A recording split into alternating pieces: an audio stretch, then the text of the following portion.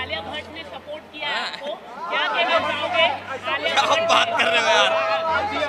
क्या कहना चाहोगे? किसने स्मृति ईरानी ने अरे वाह यार। स्मृति ईरानी ने भी सपोर्ट किया है। पूरे मतलब इलेक्शन लड़ने है।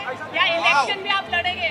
आलिया भट्ट पहले आलिया भट्ट को वापस आलिया भट्ट देख रही है तो आई लव यू कलर्स की अगर बिग बॉस में अगर आपको चांस मिलता है क्या होगा आपका जवाब? क्या आप जाना पसंद करोगे? इस बार वाले में नहीं क्योंकि अभी बहुत टाइम में दूर रहा अपने घर से। अगली बारी कभी मौका मिलेगा तो फॉर श्योर एलविश जी आपको बहुत जनों ने सपोर्ट किया हरियाणा से लेके से लेके।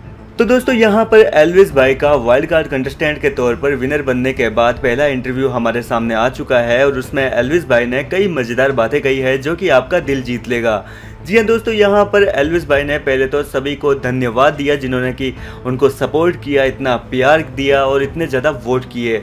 वहीं दोस्तों, यहाँ पर लोगों ने, यानी कि जो इंटरव्यू लेने वाले मीडियाकर्मी थे, उन्होंने एलविस को सामने बताया कि आपको पता है आपको किस किस का सपोर्ट मिला है। स्मृति ईरानी ने आपको सपोर्ट किया था। ये सुनकर दोस्तों एलविस भाई काफ़ी हैरान हो गए और उन्होंने स्मृति ईरानी जी को भी थैंक यू बोला। इसके अलावा आलिया भट्ट का भी जब उनको बताया गया कि आलिया भट्ट ने आपको सपोर्ट किया और आपके लिए बहुत अच्छी अच्छी बातें कही थी और वो सारी बातें बताई जो कि आलिया भट्ट ने बताई थी। और ये सुनकर दोस्तों यहाँ पर एलविस भाई काफ़ी हैरान हुए और उनको काफ़ी खुशी मिली, क्योंकि दोस्तों आलिया भट्ट जो है वो एलविस भाई की फेवरेट है और वो उनका क्रश भी है और इसी वजह से उन्होंने आलिया भट्ट को भी साथ ही साथ थैंक यू बोला।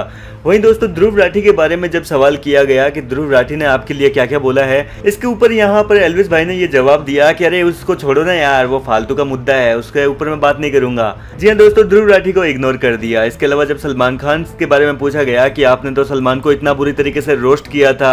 उसके ऊपर आपके क्या ख्याल है? इस पर दोस्तों यहाँ पर एलविस भाई बताते हैं कि सलमान को रोस्ट किया, वो मेरा पास्ट था यार। पास्ट वाली बातों को भूल जाइए। अब नई शुरुआत हो चुकी है, नए रिश्ते बन चुके हैं। खैर दोस्तों, यहाँ पर एलविस भाई ने तो वाकई इंटरव्यू के दौरान किसी की भी बुराई नहीं की और सभी के साथ अच्छा रिश्ता निभाया, सभी के लिए अच्छी अच्छी बातें कही है। फ़िलहाल आपका क्या कहना है? एलविस भाई के इंटरव्यू पर अपनी राय हमें कमेंट करके बताएँ। लेटेस्ट अपडेट्स के लिए हमारे साथ बने रहिए ताकि बिग बॉस से जुड़ी हर खबर आप तक पहुँचे सबसे पहले।